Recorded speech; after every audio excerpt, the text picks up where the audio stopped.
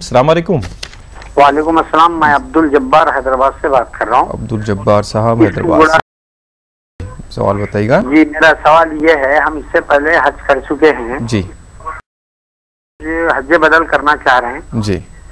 तो हम ये हज बदल के लिए जो अहराम हम खरीदे सो है पहले के यूज़ करे हुए जी। क्या हम वो अहराम फिर यूज़ कर सकते हैं?